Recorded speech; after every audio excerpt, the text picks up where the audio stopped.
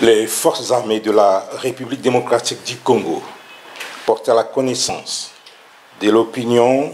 nationale et internationale que, pendant que nos forces, avec l'appui de la MONUSCO,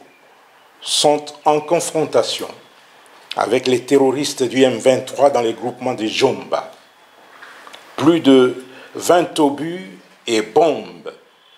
tirés de l'est vers l'ouest de l'axe routier Goma-Ruchuru ont explosé hier, mardi 24,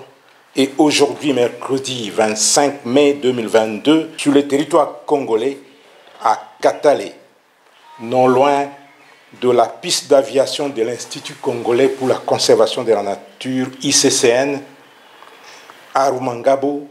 et les environs. Comme si cela ne suffisait pas,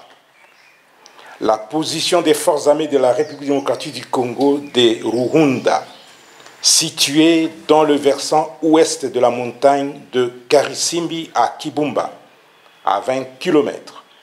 à l'est de la ville de Goma, a été attaquée la nuit de lundi 23 mardi 24 mai 2022 à 3 heures du matin. Les combats se sont poursuivis jusqu'aux petites heures du matin et les forces loyalistes ont repoussé l'ennemi.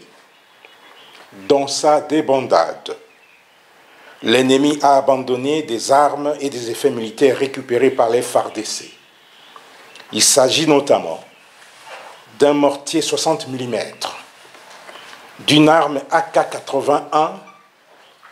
de huit roquettes anti-tank, d'une chaîne de munitions de l'armée PKM, d'une paire de tenues militaires, d'un casque et de deux gourdes militaires non utilisées ni par les FARDC ni par les terroristes M23. Le matin de ce mercredi 25 mai 2022, les positions des FARDC de Kibumba et des Jomba ont été une fois de plus attaquées.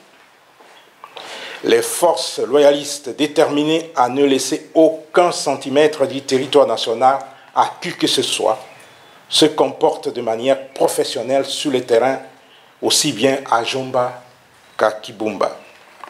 Ainsi, le gouverneur militaire de la province du et commandant des opérations a saisi le mécanisme conjoint de vérification élargie de la conférence internationale pour la région des Grands Lacs pour les investigations sur l'origine de ces graves incidents. Face à cette situation très préoccupante, le gouverneur militaire de la province du Nord Kivu appelle la population au calme, à la vigilance, à ne pas céder à la panique,